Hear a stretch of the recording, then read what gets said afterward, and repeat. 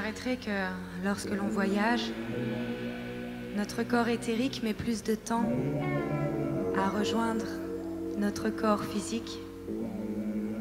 Lorsque l'on voyage, on peut se sentir citoyen du monde, on peut se sentir citoyen de nulle part, comme un arbre qui a perdu ses racines. Ça m'est arrivé une fois et ça a donné ça.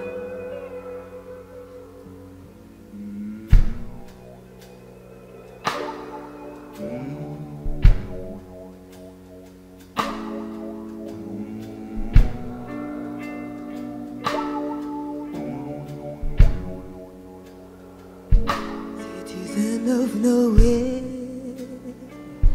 in everywhere.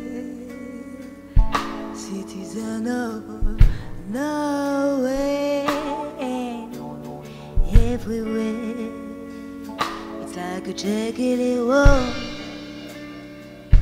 On a tight road, Like a flight abroad, houses without truth. like a tree who lost its roots. There is no place, no, no, no, no, no, no place to stay.